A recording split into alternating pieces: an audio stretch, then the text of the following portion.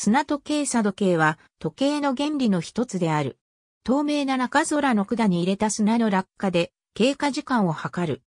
時刻は測れず、測定開始から一定の時間を計測するタイマーとしてのみ機能する。起源は古代エジプト、古代ギリシャ、ローマとも中国とも言われているが定かではない。11世紀頃には公開用の時計として使われていたようだが、これも確固たる証拠はない。14世紀になって描かれた絵によってようやく確認できる。中国語では砂牢、砂章と表記される。航海での具体例としては地球一周をしたマゼランが18個の砂時計を船に積みナビゲーションに使用したとの記録がある。時刻の補正は正午に太陽が天頂に来ることを利用した。このほか、戦闘時の時間計測や船の速力測定の用途にも用いられた。その後、機械式の時計が発明されたことで、砂時計が実用目的で使われることは少なくなった。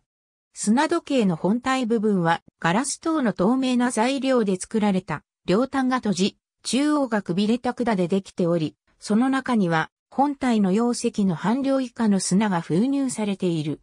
本体部分はガラスの成形上の理由から丸底のものが多く、保持するための外枠がついている場合が多い。くびれはオリフィスまたはその形状の掃除から蜂の腰とも言われる。砂は粉流体であるため、砂の量とくびれの傾斜や細さ、そして砂の質で時間が決まり、通常個々の砂時計で固定である。一般に砂と呼ばれるが、自然災害の粉流体も広く用いられる。砂として用いられるものに以下のものがある。他にガラスビーズなども使うことがある。貝殻や大理石を粉砕したものも使われた。メディアを再生する砂の落下砂時計の天地を逆にすると、砂は少量ずつくびれを通過して、缶の下部へと落下していく。砂時計の反転から砂の落下終了までの時間は、それぞれの砂時計で決まっているので、すべての砂が落下したのを視認することにより、その時間の経過を知ることができる。計測後には、また上下を反転させれば、再度計測が可能である。時計が普及した現代では、砂時計は短時間のタイマーとして用いられる。精度はそれほど高くないため、正確な時間の計測には向かない。具体的には、調理時間、学習時間、ゲームの制限時間、体温計の計測時間、サウナ風呂の入浴時間、干潮液注入後の時間等、数秒の誤差が結果に影響を及ぼさない用途の時間を測るために使用される。羽の生えた砂時計が刻まれた破壊しコンピュータの処理で待ち時間が生じた時の画面上の目印として砂時計の絵が使われることがある。また、ロンジンの翼の砂時計のようにブランドロゴに採用している企業もある。以上のように時間という概念のシンボルとして扱われることが多い。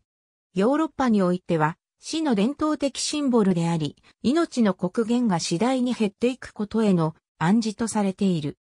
羽の生えた砂時計が墓石の図柄として用いられることがある。また、中世においては砂時計は海賊機のデザインとしても用いられた。オリオン座の形は砂時計に例えられる。その形状から統計分析などでは2極に分化して両端が膨れた状態が砂時計に例えられることがある。パズルとして3分測れる砂時計と5分を測れる砂時計で7分を測るにはどうしたらよいかなどの砂時計を用いた問題が一つのパターンと言えるほどによく出題される。砂が昇るように見える砂時計砂時計とよく似た機構を持つものにオイル時計がある。水と油のように比重が異なり混じり合うことのない2種類の液体を封入した時計で2つ開いた穴のうち一方の穴から比重の大きい水を下部に滴下させ、もう一方の穴から比重の軽いオイルが上部に逃げるようになっている。水とオイルは区別がつくように着色される。